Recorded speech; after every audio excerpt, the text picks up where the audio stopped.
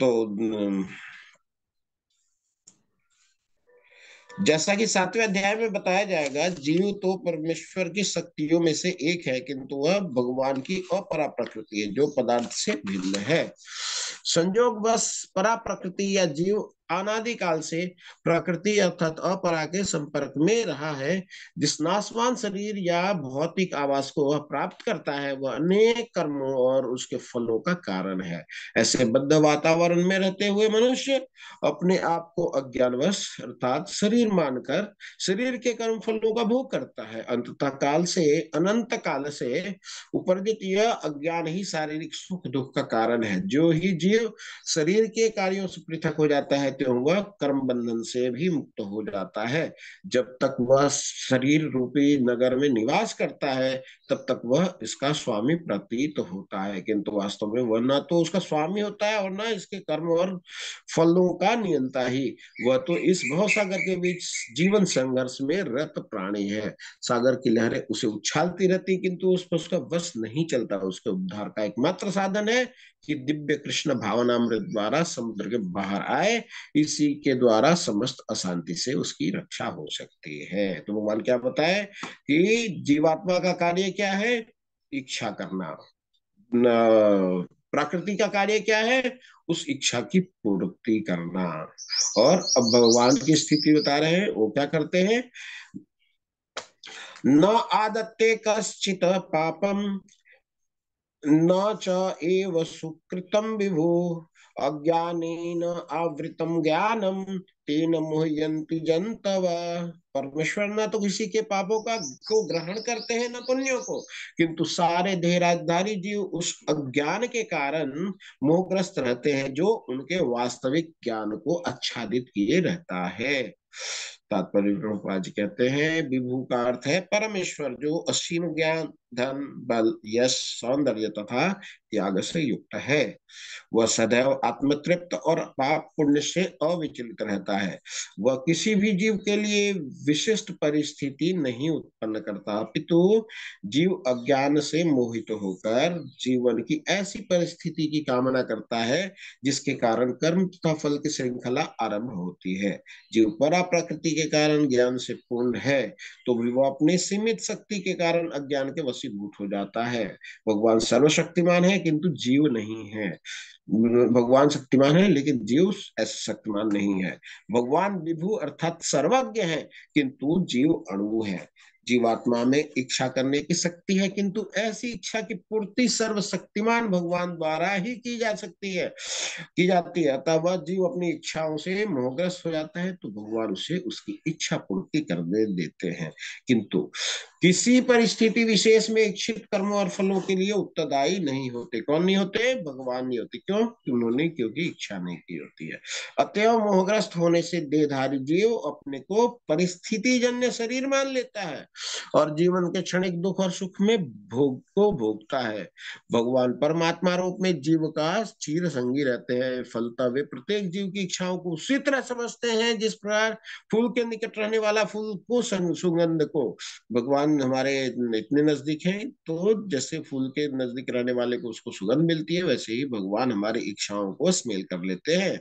इच्छा जीव को बद्ध करने के लिए सूक्ष्म बंधन है, भगवान मनुष्य की योग्यता के अनुसार उसकी इच्छा को पूरा करते हैं, भगवान ग्रांड करते हैं सेंक्शन करते हैं।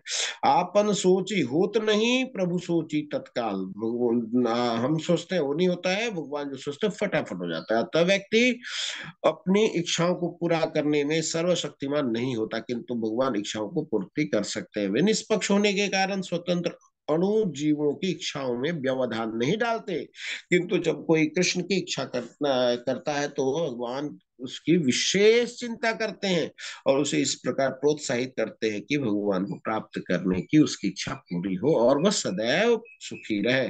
अतएव वैदिक मंत्र पुकार कर कहते हैं ऐसा वो हेव साधु कर्म कार्यती तम यमेभ्यो लोकेभ्य उन्नी उन्नी निशते एष साधु कर्म कारयति यमधो निशते भगवान जीव को शुभ कार्यों में इसलिए प्रवृत्त करते हैं जिससे वह ऊपर उठे। भगवान उसे अशुभ कार्यों में इसलिए प्रवृत्त करते हैं जिससे वह नरक जाए। क्यों? क्योंकि उसकी इच्छा थी। अब उसकी इच्छा को भगवान पूरी करते हैं। जीव अपने सुख दुख में पूर्णतया आश्रित है। परमेश्वर की इच्छा से वह स्वर्ग या नरक जाता है, जिस तरह वायु के द्वारा प्रेरित बादल। अतः देहधारी जीव, कृष्ण भावनामृत की उपेक्षा करने की अपनी अनादि प्रवृत्ति के कारण अपने लिए मोह उत्पन्न करता है। फलस्वरूप स्वभावतः सच्चिदानंद स्वरूप होते हुए भी वह अपने अस्तित्व को लघुता के कारण भगवान के प्रति सेवा करने की अपनी स्वाभाविक स्थिति को भूल जाता है और इस तरह वह अविद्या द्वारा बंदी बना लिया जाता है। अज्ञानवश जीव यह कहता है कि उसके भव बंधन के लिए भगवान उत्तरदायी है। उसकी पुष्टि वेदांत सूत्र दो एक चौतीस भी करते हैं। वैषम्य न गृणित न सापेक्षात्वात यथा ही दर्शयति। भगवान न तो किसी के प्रति घृणा करते हैं, ना किसी को चाहते यद्यपि ऊपर से ऐसा प्रतीत तो होता है। तो क्या बोलते हैं भगवान की हमें वो हमारी जो स्वतंत्रता दी है भगवान ने, क्योंकि भगवान हमसे प्रेम करते हैं। अगर आप किसी से प्रेम करो और बोलो तुम यहीं बैठना है, तुमको बाहर नहीं जाना तो ये कैसा प्रेम हुआ? प्रेम अर्थात स्वतंत्रता दी है। भगवान क्या करते हैं? हम अगर अच्छा चीज़ की कामना करते हैं, भगवान उसकी पूर्ति करते हैं सेंक्शन करते हैं। अगर हम बुरा कुछ चाहते हैं तो भगवान उसको भी सेंक्शन करते हैं। और हम बुरा अच्छा की इच्छा करते हैं, प्रकृति हमें सहयोग करती है। कैसे? जब भगवान सेंक्शन करते हैं तो प्रकृति हमें सहयोग करती है। तब हम कुछ कार्य को कर पाते हैं। तो अभी कल या परसों एक माता जी बोल रही थी कि अर्जुन के सामने भगवान थे तो वो तो उनको इंस्ट्रक्शन दे रहे थे, हमें इंस्ट्रक्शन कैसे मिलेगा? तो उसका ये श्लोक बड़ा क्लियर बता रहा है कि भगवान नज़दीक तो छोड़ दीजिए। हम इच्छा जहाँ से करते हैं, भगवान वहीं बैठे हुए हैं और वो हमारे इच्छा को स्मेल कर लेते हैं और उसको पूर्ति कर देते हैं। तो रिस्क क्या है? हम अच्छा इच्छा करें। जैसे ध्रुव महाराज की कथा के ऊपर चर्चा हुई थी, ध्रुव महाराज को कुछ नहीं मालूम था, उनको सिर्फ़ इच्छा थी कि भगवान को प्राप्त करें। भगवान ने सारा कुछ अरेंज करके दिया था। तो अगर हम भी इच्छा करते हैं तो हमें भी भगवान वैसे ही सारा कुछ अरेंज करके देंगे। हमें, हमारी स्वतंत्रता कहाँ है? इच्छा करने में हमें बहुत ध्यान रखना होगा। हमारी इच्छा बुरी ना हो जाए। जैसे बोलते हैं, एक व्यक्ति भाग भाग करके गया, एक जंगल में पहुँचा तो उसको बहुत ज़्यादा भूख लग गई थी। तो एक वृक्ष के नीचे था तो सोचा कि ये वृक्ष काश इसमें आम होता तो खाते तो कितना अच्छा होता। फटाफट देखता है आम ही का तो वृक्ष है ये। उतार करके खाना शुरू करता है। सोचा कि आम तो तीन चार खा लिया, टेस्ट आजू बाजू में देखूँ क्या कि कोई ऑरेंज का कोई वृक्ष हो, जैसे आम का है ऑरेंज भी मिल जाए तो दिख रहा है मैं जिसके नीचे बैठा हूँ, वो तो ऑरेंज का वृक्ष है। फिर ऑरेंज होता है, वो भी खा लेता है। फिर बोलता है कि फल तो हो गया, लेकिन कुछ खाना पीना भी आसपास में कोई लोग रहते हैं क्या? कुछ खाने को भी मिल जाएगा क्या? उसके सामने प्लेट आ जाती है, वो खा, मिल जाता है गर्म खाना खाता है। इसके बाद सोचता है कि मैं जो सोच रहा हूँ ये सब होता गई, कैसा पेड़ है? तो फिर वो सोचता है कि यदि जंगल है, यहाँ पे कोई शेर और ना आ जाए तो जब शेर सोचता है तो शेर भी आ जाता है और उसको खा जाता है। तो क्या है वास्तव में? वो जो पेड़ था, वो था कल्प वृक्ष कल्प वृक्ष आप जो कल्पना करेंगे, वही मिल जाएगा। तो जब शुक्र है भगवान का कि अभी कल्प जगह नहीं उपलब्ध है अदरवाइज़ हम अपने को खत्म कर लेते जाकर, क्योंकि हमारी बुद्धि ऐसे ही दिशा में चलती है। तो हम जो भी सोचते हैं, जो भी प्रयास करते हैं, उसके लिए भगवान ने हमें एक आईना दिखाया है कि तुम क्या चाहते हो, तुम जैसा क्या चाहते हो वो करो। और जब कुछ ऐसा हो जाता है तो हमें ज्ञान प्राप्त होती है। आगे बताते हैं। ज्ञान ना तो तद ज्ञानम ऐशाम नासिनमात्मन, तेषाम आदित्य तेषाम आदित्य ज्ञानम प्रकाशयति तत्परम तत्परम बताते हैं। किंतु जब कोई इस ज्ञान में प्रबुद्ध हो जाता, प्रबुद्ध हो जाता है, जिससे अविद्या का विनाश होता है तो उसके ज्ञान से सब कुछ उसी प्रकार प्रकट हो जाता है, जैसे दिन में सूर्य से सारी वस्तुएँ प्रकाशमान हो जाती हैं। जैसे जो लोग तत्व बताते हैं प्रभुपा जी कि जो लोग कृष्ण को भूल गए हैं वे निश्चित रूप से मोहग्रस्त होते हैं किंतु जो कृष्ण भावना भावी थे वे ऐसे नहीं होते। भगवत गीता में कहा गया है ज्ञान को क्या बोला था पहले? सर्व ज्ञान प्ल, प्ल, प्लवीना मतलब ज्ञान को पहले नाव बोला था, इसके बाद बोला था, ज्ञान अग्नि सर्व कर्माणी सारे कर्म को खत्म कर देता। क्या? ज्ञान की अग्नि। ज्ञान को अग्नि बोला था। इसके बाद ज्ञान को तलवार भी बोला था कि अज्ञानता को ज्ञान रूपी तलवार से काट डालो। तो इसका मतलब क्या है कि जैसे ही अंधेरा होता है तो हमें पता लगता है कि सब कुछ एक जैसा ही दिखता है। क्यों? क्योंकि हमारी दृष्टि अपूर्ण है। वो बिना लाइट के कुछ नहीं देख सकते। लेकिन जब सूर्य का प्रकाश आता है तो हम देख सकते हैं हमारे सामने क्या कुछ है, कहाँ कुछ खाना रखा हुआ है, कहाँ पे गंदा चीज़ रखा हुआ है, कहाँ टेबल है, कहाँ कुर्सी है, देख सकते हैं। वैसे ही जब हम कृष्ण भावना भावित हो जाते हैं तो हर चीज़ को हम क्लियरिटी से देख सकते हैं। जैसे हमारी जीवा है, जिसका जो टेस्ट बर्ड है, बहुत स्ट्रांग है। वो फटाफट बता देगा कि इसमें नमक कम है, इसमें जीरा नहीं है, इसमें मेथी नहीं है, इसमें धनिया नहीं है। कि जिस किसी का अगर टेस्ट बड उतना स्ट्रांग नहीं है इतना सेंसिटिव नहीं है, वो अंतर भी नहीं कर पाता है। सोचता है कि अच्छा नमक ज़्यादा है क्या? मुझे तो नहीं लग रहा है। कब है क्या? मुझे तो पता नहीं लग रहा है। तो जब प्रकाश में होते हैं, जब हम लाइटन हो जाता है, जब हम कृष्ण भावना भावित हो जाते हैं तो चीज़ को अप्रोप्रिएटली एग्जैक्ट रूप से देख सकते हैं। भगवान इसमें ये बताते हैं। अब आगे बढ़ते हैं। तद बुद्धि तद आत्मान तद निष्ठा तत्परायण।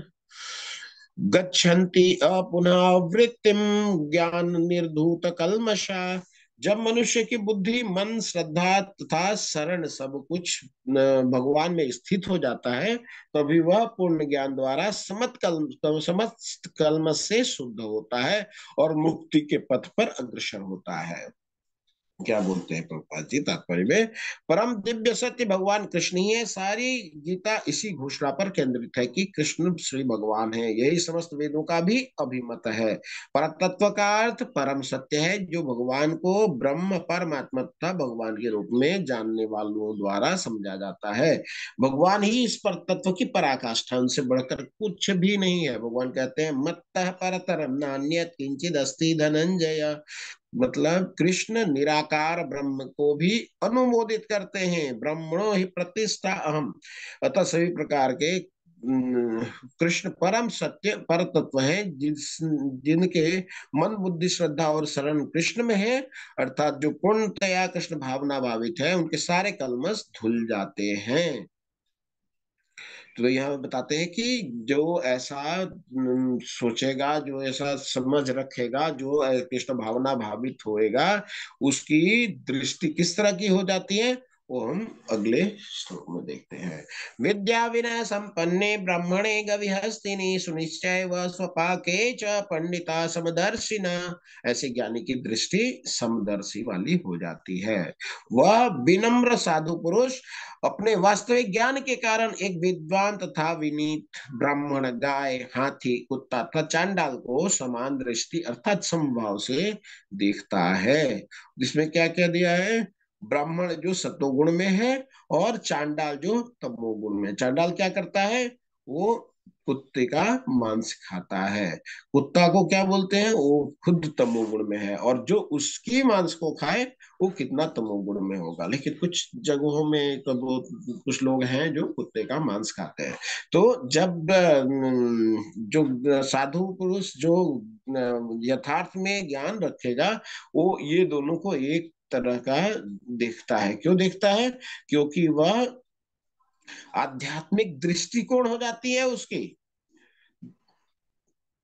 फिर वो गाय, हाथी, कुत्ता में भी कोई फ़र्क नहीं देखता है। गाय क्या होती है? उस सत्व गुण में होती है। घास खाती है और दूध देती है। एक एक्सपेरिमेंट किया गया था गाय को कि गाय का दूध में कोई खराबी आ सकती है कि नहीं आ सकती है थोड़ी थोड़ी जहर की मात्रा उसमें देने जा दिया गया कि उसके दूध में जहर की मात्रा कैसी आती है। गाय मर भी ना जाए एक्सपेरिमेंट भी करना है बहुत थोड़ी थोड़ी जहर की मात्रा उनको भोजन में दे, दे, देते गए देते गए देते गए एक महीना तक देते गए। लेकिन दूध में जहर की एक थोड़ी मात्रा भी नहीं आई। बाद में देखा गया कि गऊ के जो गर्दन है, वहाँ पे पूरा नीला नीला हो गया। तो इस एक्सपेरिमेंट से, हालाँकि बहुत अच्छा एक्सपेरिमेंट नहीं है, लेकिन लोगों ने किया।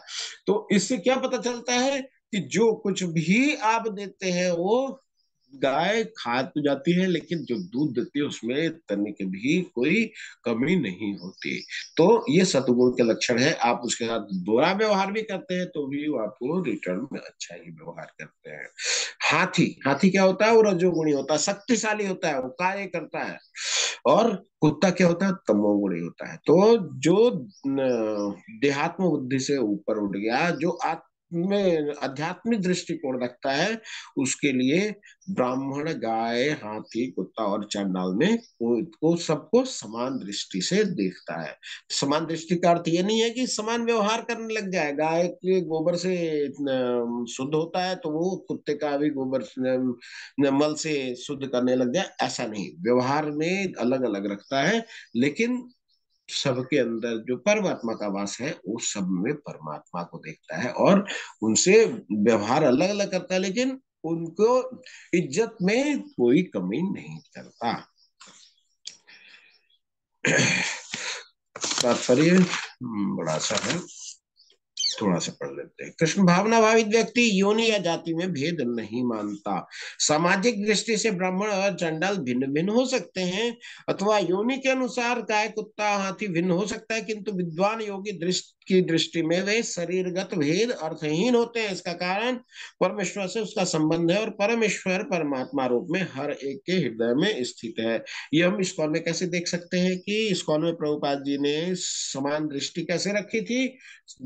इस्कॉन में प्रभुपाद जी ने ऐसा व्यवस्था किया था कि कोई किसी को नस्ल भेद से, कोई ये अमेरिकन है, ये अफ्रीकन है, ये इंडियन है, ये बिहारी है, ये गुजराती है, ये पंजाबी है ये सब भेदभाव नहीं रखा। आप इस्कॉन में जाएँगे तो आप किसी से ये नहीं पूछेंगे कि आप कहाँ से हैं प्रभु जी? आप किस तरफ़ से हैं प्रभु जी।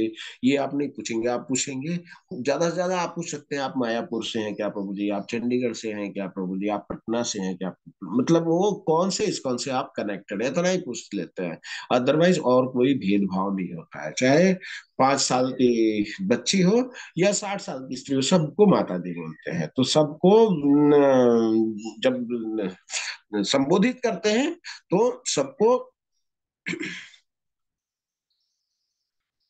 मैसेज कृपया ना करें, क्लास के बीच में, बाद में बात कर लेंगे, ठीक है?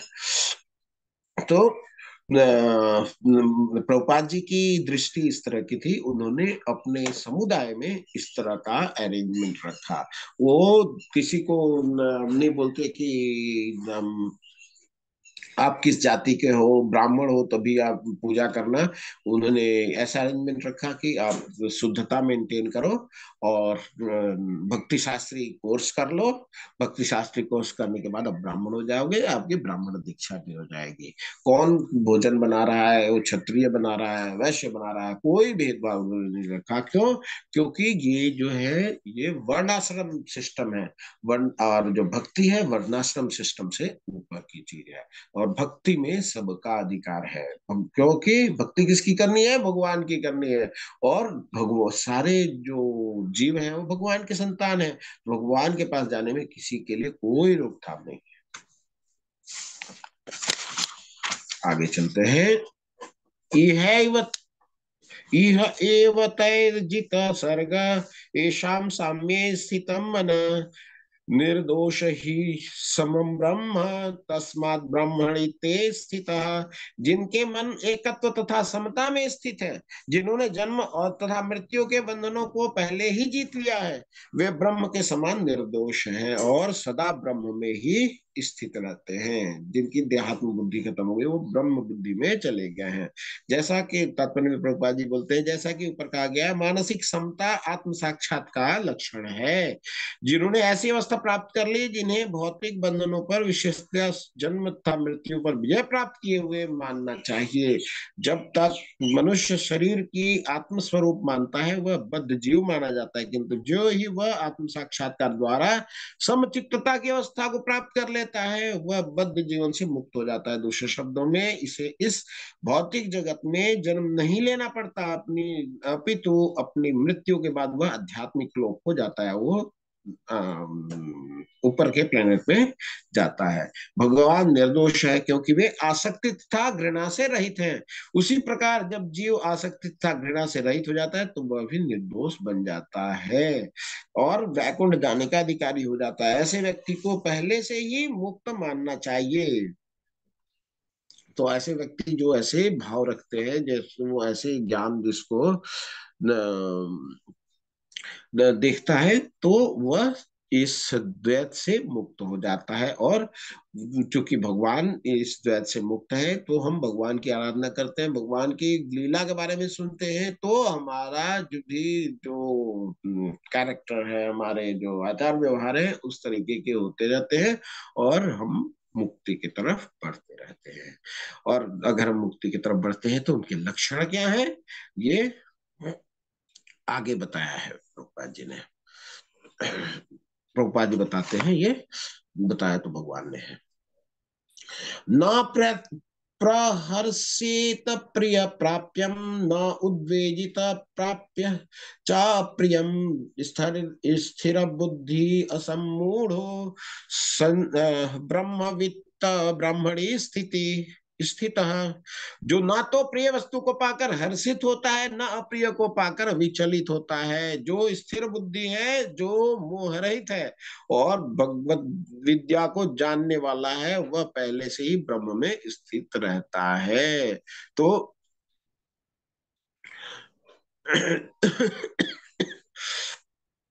वो कुछ अच्छा मिल गया तो हर्षित हो गया, जो बुरा मिल गया तो वो बढ़ा करके बैठ गया। ऐसा नहीं, हम लोग बचपन में कई बार ऐसा होता था कि कुछ बहुत अच्छा डिश बनाए घर में तो मन प्रफुल्लित अरे, इतना अच्छा बना है।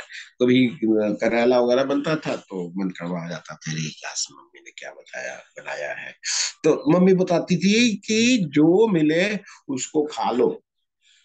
मिल गया उतना काफ़ी है। कितने लोगों को ये भी नहीं मिलता है। तो आप लोग जो मिल रहा है, उसमें संतोष होना चाहिए और उसको ग्रहण करना चाहिए। भगवान ने कोई भी अच्छा चीज़, बुरा चीज़ नहीं बनाया। भगवान ने सब अपने बच्चे के लिए सब माता पिता अच्छा ही चीज़ देते हैं। तो भगवान ने हर चीज़ आपको अच्छा ही दिया है। अब आपके टेस्ट बर्ड को पसंद नहीं, लेकिन आपके शरीर के लिए बहुत ज़रूरी है। तो इसलिए आप ये ये हम खाएँगे, ये नहीं खाएँगे, ऐसा नहीं बात करते। आपको सब कुछ खानी है। भगवान यही बताते हैं कि जो कोई अच्छा चीज़ देख करके हर्षित नहीं होता, बुरा देख करके कोई विचलित नहीं होता, वह ज्ञान को प्राप्त किया हुआ समझा जाता है। जो स्थिर बुद्धि है, वह मोह रहित होता है। उसको प्रिय वस्तु से हर्ष नहीं होती, अप्रिय से कोई विचलित नहीं होता। और भगवत विद्या को जानने वाला है, वह पहले से ब्रह्म में स्थित रहता है। तात्पर्य गोपाल लिखते हैं, यहाँ पर स्वरूप सिद्ध व्यक्ति के लक्षण दिए हैं। पहला लक्षण यह है कि उसमें शरीर और आत्म तत्व के तादात्म्य का भ्रम नहीं रहता। वह यह भली भांति जानता है कि मैं शरीर नहीं हूँ, अपितु भगवान का एक अंश हूँ। अतः कुछ प्राप्त होने पर ना तो उसे प्रसन्नता होती है, न शरीर की कुछ हानि होने को शोक होता है।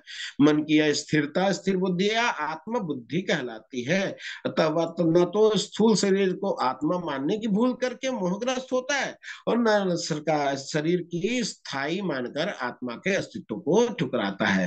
वो समझता है कि आत्मा है, वो हमेशा रहने वाला है, इसका कोई कुछ नहीं बिगाड़ सकता और शरीर बिगड़ने वाला है, इसको रोक नहीं सकता। तो क्यों जो स्थायी है, उसके पीछे हम छोड़ करके, जो शरीर, जो अस्थाई है खत्म होने वाला है, उसके पीछे लगे हैं।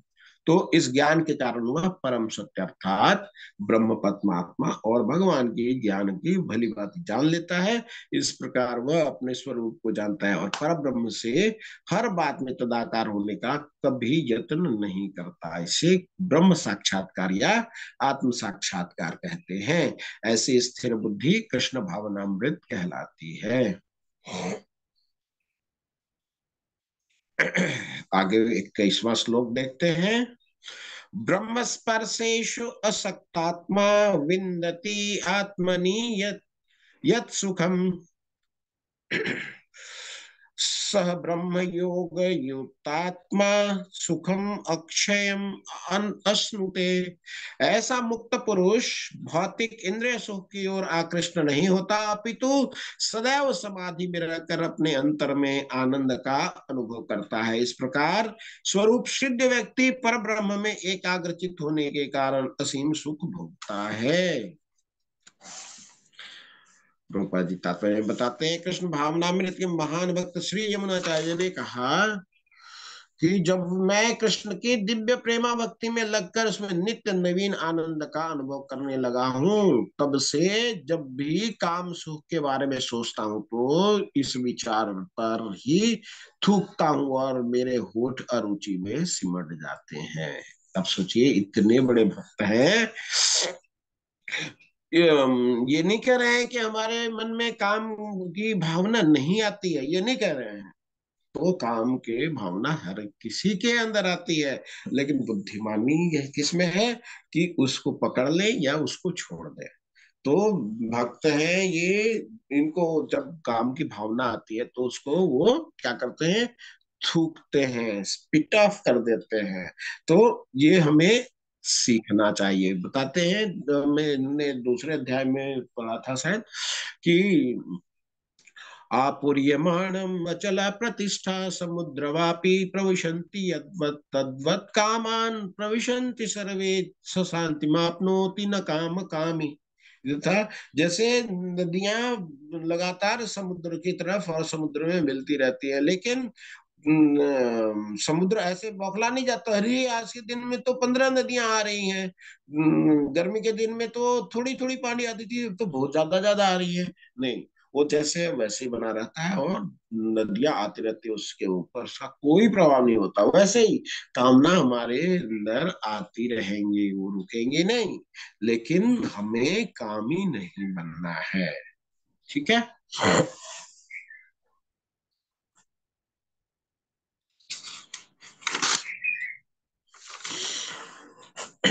आगे चलते हैं।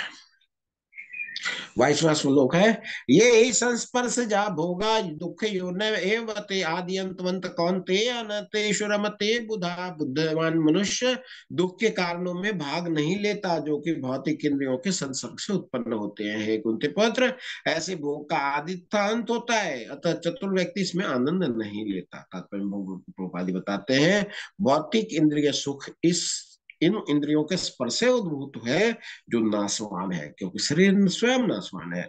मुक्त आत्मा किसी नासवान वस्तु में रुचि नहीं रखता। तो कोई भी चीज़ जिसका आदि है और अंत है, जब शुरुआत है तो उसका अंत निश्चित है। तो जिसके मिलने से सुख हुआ, उसके बिछड़े से दुख ज़रूर होगा। जैसे सेलिब्रिटीज हैं जैसे हम हैं सेलिब्रिटीज भी हम जैसे ही स्टार्टिंग में होता है तो सोचते हैं कि अगर हमारे को दस लोग पूछे, पचास लोग पूछे, जब लाइन लगाए, सबसे लाइकिंग मिले हमें तो बहुत आनंद आता है। लेकिन आनंद आते आते आते तो ऐसा हालत हो जाता है कि उन लोगों का बाहर निकलना भी मुश्किल हो जाता है। वो बाहर जैसे निकलेंगे वो सोचेंगे कि चलो मैं दौड़ पे टहल के आता हूँ तो क्या होगा कि उनके आजू बाजू में लोग इकट्ठे हो जाएँगे, मेरे को एक फ़ोटो लेना है, मेरे को एक बात करनी है, मेरे को ऑटोग्राफ दे दो, ये हो तो क्या करते हैं, नगाब पहन करके या फिर मास्क पहन करके उनको निकलना पड़ता है, क्यों? क्योंकि ये अस्थिर भौतिक संसार में जब प्रशंसा मिलती है पहले तो नहीं थी, अब मिलना शुरू हुई जिसका मतलब है, कभी ना कभी नष्ट भी होगी। तो ये जो टेम्पररी चीज़ है, जो बुद्धा मतलब जो बुद्धिमान मनुष्य है, उसमें भाग नहीं लेते।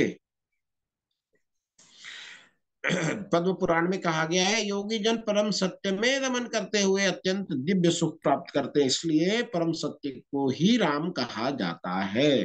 तो राम मतलब जो परम सत्य है, लेकिन हमें समझ में ये आती नहीं है। समझ में कब आती है? जब हम यहाँ से शरीर से चले जाते हैं, तब लोग लोग बोलते हैं, राम नाम सत्य है, राम नाम सत्य है। किसी के विवाह में जाकर के आप बोल दीजिए, राम नाम सत्य है। तो बहुत भड़क जाएँगे अरे, यहाँ पे थोड़ी राम नाम सत्य है। मतलब राम नाम सत्य जब चले जाते हैं ऊपर, तभी होता है। इसके पहले राम नाम सत्य नहीं होता। लेकिन हमारी ये धारणा बनी हुई है। तो हमें जो सत्यता है, उसको ध्यान में रखना चाहिए। भागवत में एक प्रसंग आता है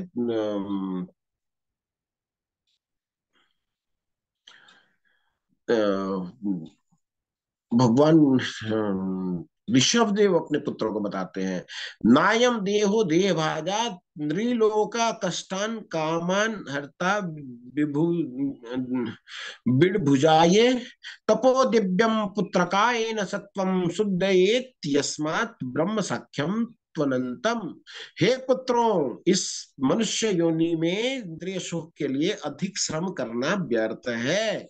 ऐसा सुख तो सुकरों को भी प्राप्त है। इसकी अपेक्षा तुम्हें इस जीवन में तप करना चाहिए, जिससे तुम्हारा जीवन पवित्र हो जाए और तुम असीम दिव्य सुख प्राप्त कर सको। तो ये बड़ा इम्पोर्टेंट है। जाते हैं सुबह से शाम तक गदा मजूरी करके, पूरा अठारह घंटा ओवर टाइम कर रहे हैं, ये कर रहे हैं, वो कर रहे हैं और सब ला करके फिर हम धन को इकट्ठा करते हैं। तो बोलते हैं कि एक अच्छा प्रोवर्ब है कि पहले आप शरीर का नाश करके धन कमाओ और जब धन बहुत जमा हो जाए और शरीर नष्ट हो जाए तो उस शरीर के लिए जाकर के सब डॉक्टरों को भेंट दे करके आ जाओ। तो कमाया किस लिए था? इसलिए हमें मिनिमम जो हमारे जीवन यापन के लिए उतना के लिए प्रयास करना चाहिए और रेगुलेशन में कि हाँ इतना काम करने का है, इतना बिज़नेस के लिए है और इतना भक्ति के लिए हमें, भक्ति के लिए और अपने शरीर के लिए, भक्ति के लिए, सेवा के लिए, हर चीज़ के लिए बैलेंस करना चाहिए। ऐसा नहीं कि हम आज अठारह घंटा इसके लिए लगे रहे, कल अठारह घंटा उसके लिए लगे आएँगे, ऐसा कुछ नहीं होने वाला है।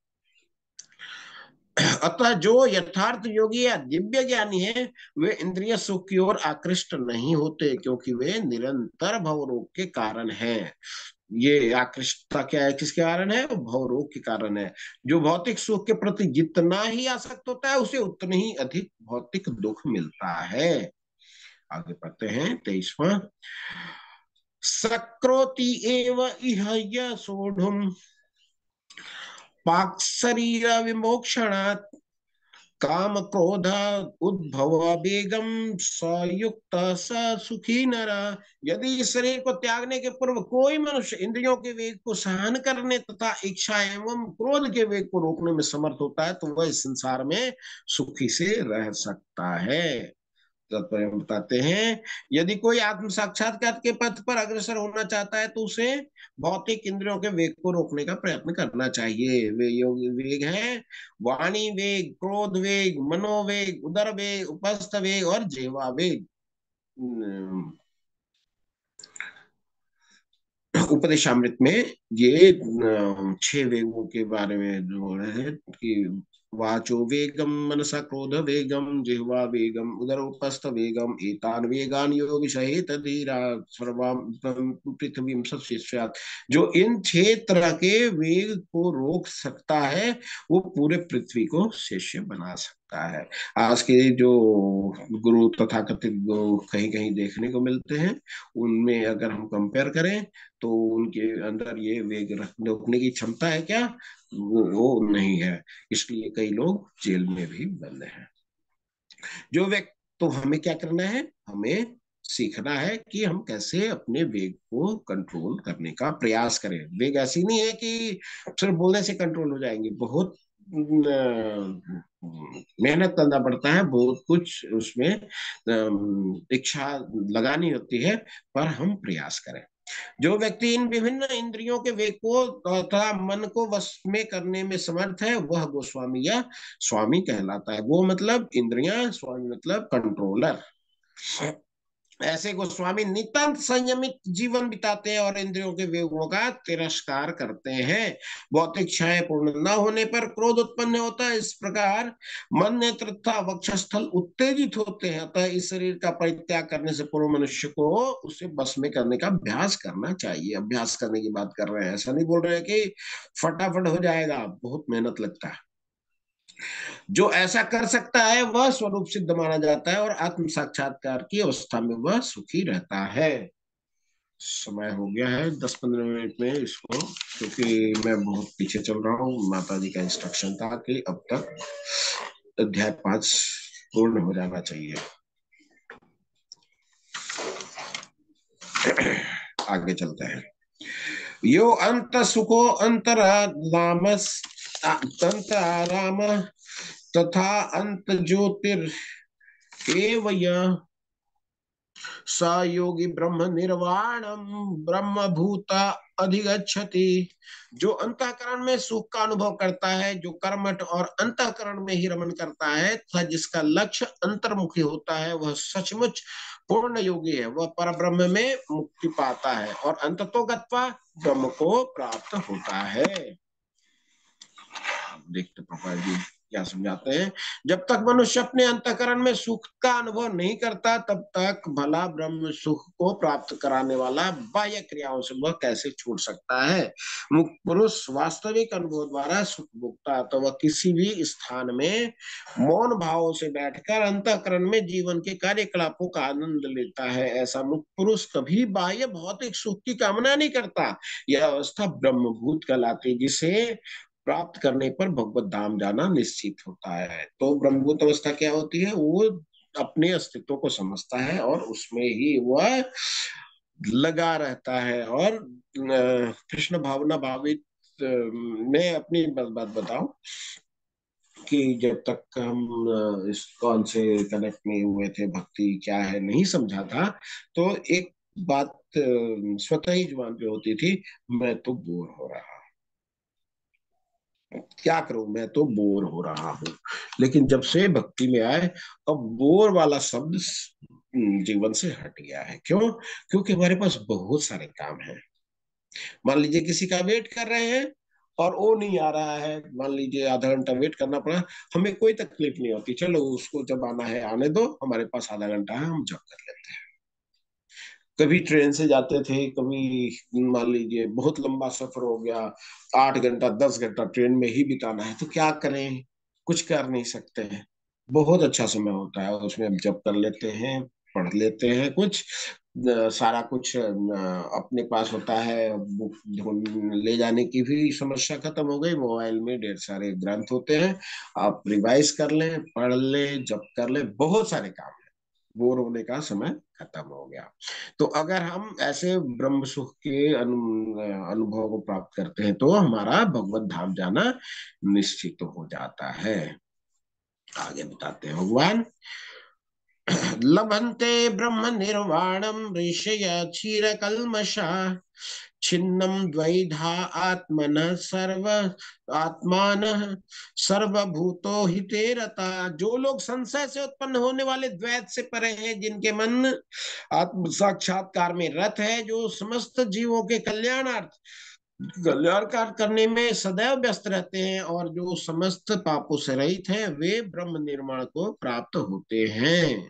तो द्वैत से परे होते हैं, जो आत्म साक्षात्कार में लगे रहते हैं, ऐसे लोग क्या होते हैं, वह मुक्ति के प्राप्त होते हैं।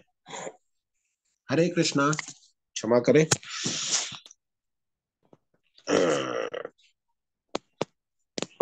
माता जी क्या करें? अभी कंटिन्यू कर सकते हैं पाँच सात मिनट क्या? या कल करें। प्रभु जी कल करते हैं। कल करते हैं ना? ठीक है माता जी फिर वो बहुत ज़्यादा लेंदी हो जाता है। हाँ हाँ माता जी मुझे भी ऐसा ही लगा क्योंकि ये जो माता जी का इंस्ट्रक्शन था ये था कि पूरा तात्पर्य को नहीं पढ़ना है। तात्पर्य को थोड़ा बहुत बता करके आगे बढ़नी है। लेकिन माता जी प्रभुपाद जी ने इतना अच्छा लिखा है ना कि मैं अपनी बात बताऊँ, मेरे को तो छोड़ने की इच्छा नहीं होती। लेकिन समय का भी शेड्यूल है, उसको भी नहीं तोड़ सकते। जी प्रभु जी। लेकिन प्रभु जी, सभी डिवोटी को बुक्स पढ़नी चाहिए और इसका जो परपट है, वो बहुत सुंदर है, सभी लोग पढ़िए। पढ़कर बहुत आनंद आता है। रियल लाइफ एग्जाम्पल्स दिए हैं। प्रभुपाद जी ने। जी जी जी जी माता जी बिल्कुल।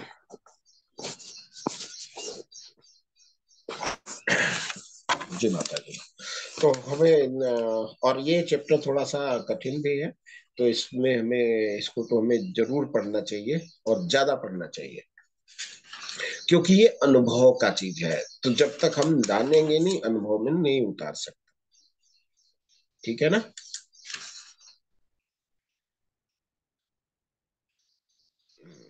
हमने कहा विराम दिया। हाँ पच्चीस, उनतीस तक है, चार श्लोक है, इसके बाद हम आगे बढ़ेंगे। ठीक है माता जी तो यहाँ पे विराम देते हैं। किसी का कोई प्रश्न हो, कुछ कहना हो?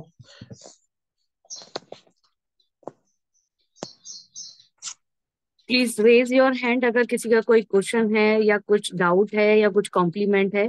या आप में से जो भी कुछ एड ऑन करना चाहे तो प्लीज़ बता सकते हैं। हरे कृष्ण।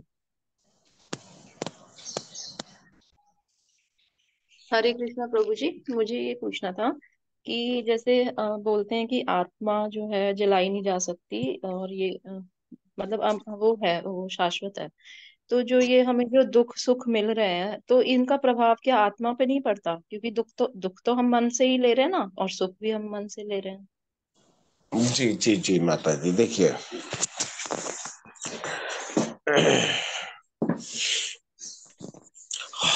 हमारे आत, आत्मा के साथ में है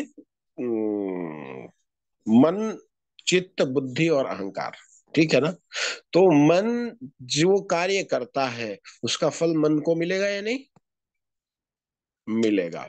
और आत्मा मन के साथ अटैच्ड है तो आत्मा को भी क्योंकि उसके मन ने ऐसा करने का किया है तो उसको इसका फल भी मिलेगा। क्योंकि इच्छा किसने करी? मन ने। मन ने करी। और मन को किसने अलाउ किया है? आत्मा दिमाग में आत्मा के साथ है चिपका हुआ मन। हम्म। इसलिए हम इस भौतिक संसार में हैं।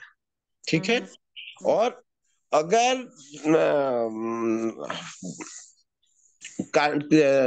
अगर हमारा मन शुद्ध हो जाए, अगर ये जो बता रहे हैं बाजी जो कर्म को समझ ले कि हमें द्वैत में नहीं फंसना है, हमें इधर उधर नहीं बिचलना है, अगर ये समझ ले तो वो अद्वैत हो जाएगा, वो भगवान के गुण जब आ जाएँगे तो वह मुक्त हो जाएगा। आत्मा ही तो बंधन में है।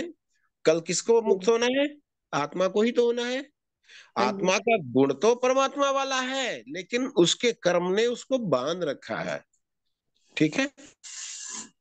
तो जैसे प्रभु जी ये बोलते हैं कि कई बार हम सत्संग में भी सुना है या लोगों से सुना है कि अपने आप को दृष्टा भाव से देखो या अब तीसरे पर्सन की तरह देखो अपने आप को तो आप अपने कर्मों को सुधार सकते हैं।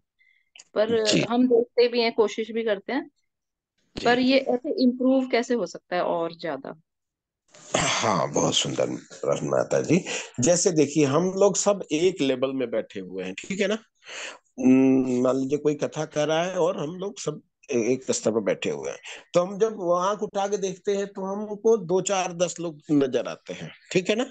आजू बाजू हम्म। में जितने लोग उठाते हैं। लेकिन आप मान लीजिए थोड़ा सा खड़ा हो जाइए वहीं पे। हम्म। तो कितने लोग को देख सकते हैं?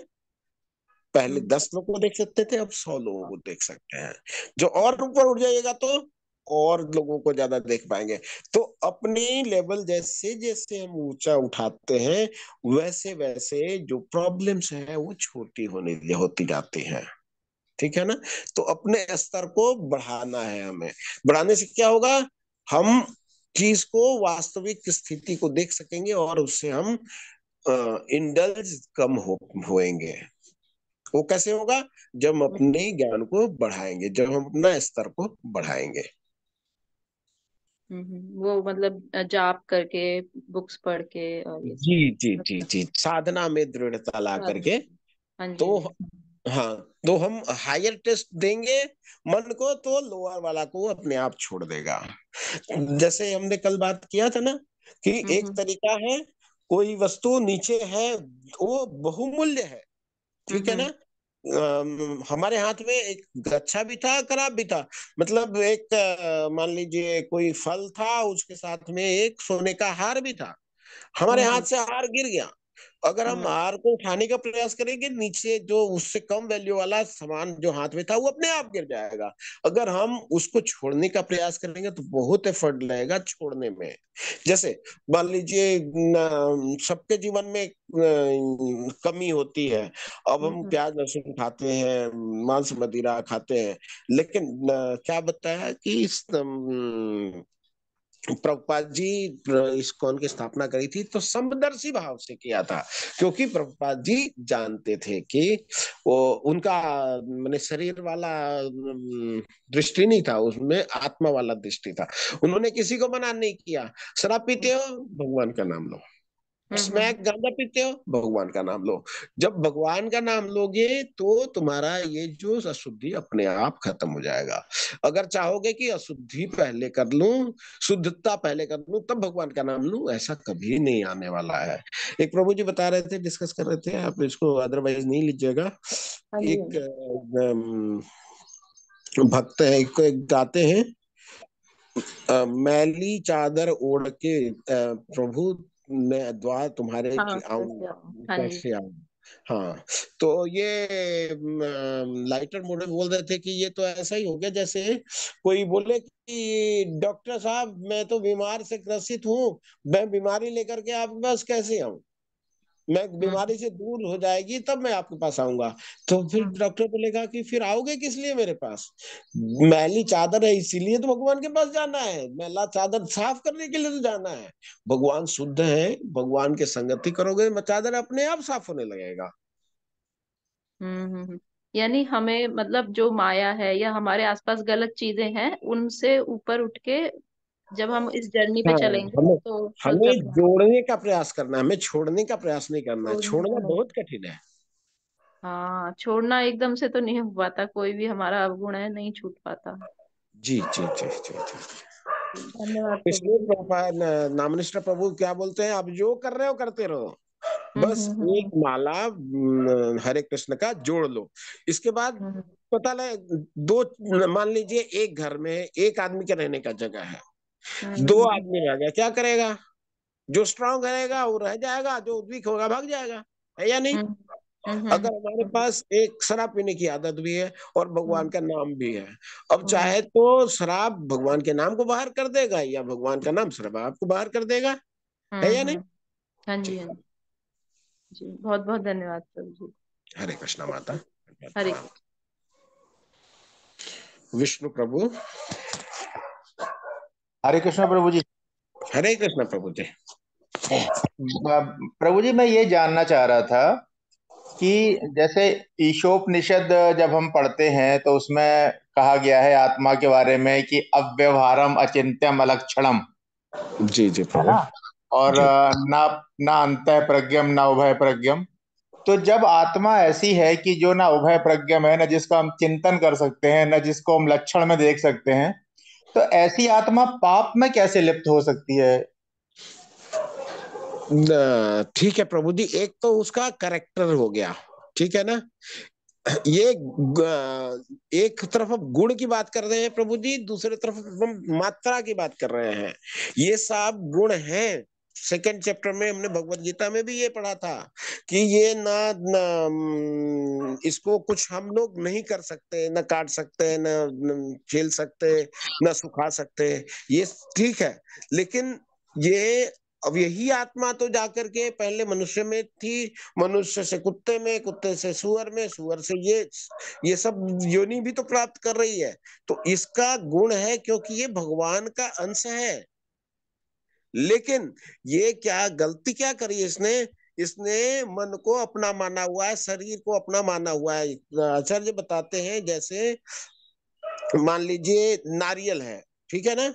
नारियल जब उसमें खोपड़े में चिपका हुआ है, अगर आप उसमें नेल मारेंगे काटी लगाएँगे तो क्या होता है कि काटी जो है उसके खोपड़े को भी छेद करता है और नारियल को भी छेद कर देता है।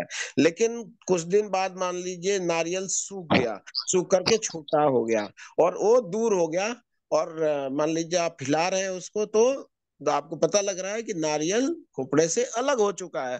अब उसमें अगर नेल मारते हैं तो वो खोपड़ा चूँकि दूसरे तरफ़ है उसके ऊपर असर नहीं होगा।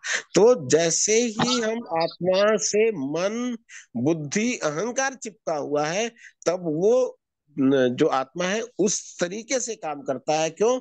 क्योंकि उसने इसको अपना माना हुआ है।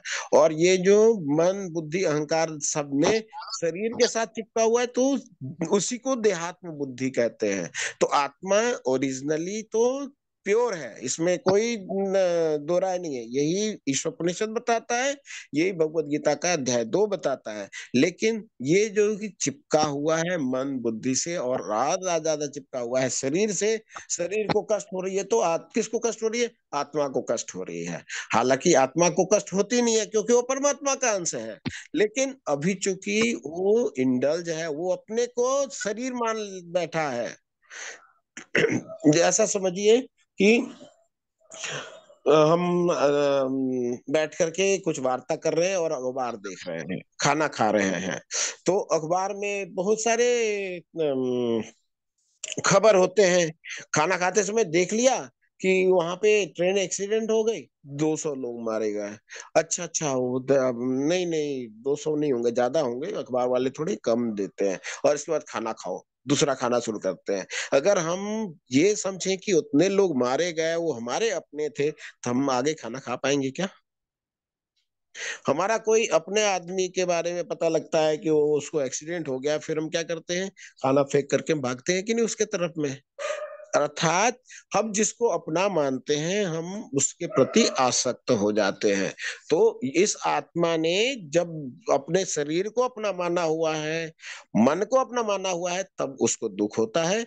जब इससे ऊपर लेवल में पहुँचता है, जब जान जाता है कि शरीर है, कहाँ है? भौतिक संसार में। भौतिक संसार क्या है? दुखालय है। यहाँ दुख ही दुख है तो वो दुख में इन्वॉल्व होता है। क्षमा करें प्रभु मुझे नहीं पता मैं कितना कुछ क्लियर कर पाया। एक्चुअल में इस विषय में ना बहुत अधिक डिस्कशन की आवश्यकता है क्योंकि ये बहुत गूढ़ है है ना? सामान्य मुश्किल है कि आत्मा के विषय में बहुत कुछ कहा जाए। और मैं इस योग्य भी नहीं हूँ तो मेनली पूछने का अर्थ होता है कि कुछ आप अपनी बातें भी रख सकें उत्तर देना और उत्तर सही हो ये मेरी योग्यता नहीं है अभी। तो मैं फिर भी प्रयास करता हूँ।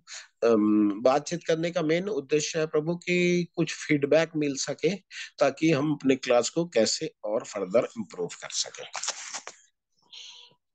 बिल्कुल। ठीक है प्रभु। नहीं आपकी क्लास में आके अच्छा लगता है। आपका मतलब आपकी क्लास में आके एक एनर्जी रहती है एक थोड़ा एक मन सा लगता है ये तो बात है। बहुत बहुत धन्यवाद प्रभु। प्रार्थना करें कि कुछ और समझ में आए मैं और कुछ समझा सकूँ। हरे कृष्णा, और कोई कुछ बताना चाहे? मैंने आपके प्रश्न को निरुत्साहित नहीं किया है। मैंने अपनी योग्यता बताई है। सुदीप्ता माता जी, आपसे तो बात नहीं हुई कभी। हरे कृष्णा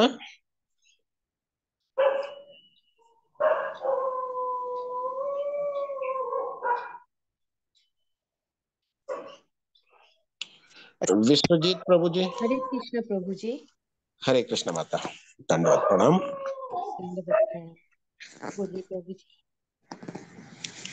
हाँ कुछ फीडबैक दे माता जी कुछ बताएँ? बहुत अच्छा लग रहा है बस मैं सुन रही हूँ। हरी बोल हरी बोल। ठीक है माता।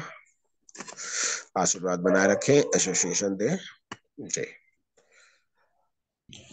बाबूलाल सोनी प्रभु जी कहना चाहते हैं। हरे कृष्णा प्रभु जी अब समझ में आ रहा है सर। जी जी जी प्रभु धन्यवाद प्रभु।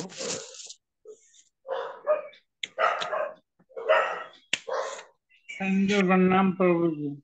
दंडवत प्रणाम प्रभु दंडवत प्रणाम। और कुछ लोग जो कुछ पूछना चाहते हो कई लोगों को संकोच होती है तो आप लोग मैसेज में भी लिख सकते हम तो रोज गीता पढ़ते हैं ना हम तो रोज गीता पढ़ते हैं हैं। जी जी जी जी प्रभु। बहुत सुंदर प्रभु। पढ़ते हैं। हाँ गीता रोज पढ़ने क्या चीज़ है प्रभु जी? क्योंकि हम क्या है भगवत गीता ही हमें बताती है। क्योंकि जब तक हम नहीं पढ़ते हैं स्क्रिप्चर्स को तब तक हमें पता ही नहीं लगता है कि हम हैं कौन हमें करना क्या है। बहुत सुंदर ये सभी मालूम होता है अपन के भगवान ने गलती ही किया रहता अपन को तुझ समझ के ही, समझ, जीवन यापन करना चाहिए। जी जी जी, प्रभु जी।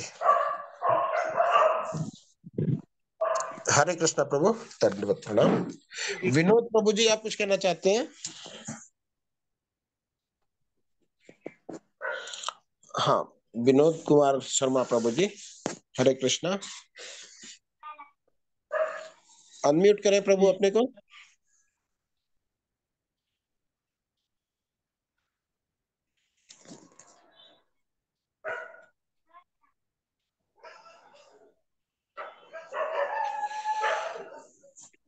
हरे कृष्ण प्रभु। हरे कृष्णा बहुत सुंदर बहुत ही सुंदर व्याख्यान कर रहे हैं प्रभु आप।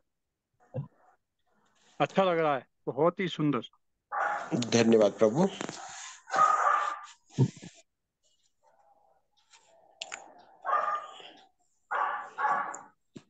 हरे कृष्णा, और कोई प्रश्न नहीं है, कुछ और बात नहीं है तो हम क्लास को एंड करेंगे। विराम देते हैं। वांछा कृपा सिंधुभ्य पतिता पावनेभ्यो वैष्णवेभ्यो नमो नमः। भगवान की वाणी भगवत गीता की जय, सारे वैष्णव भक्तों की जय, आप सब भक्तों की जय। श्रील प्रभुपाद की जय।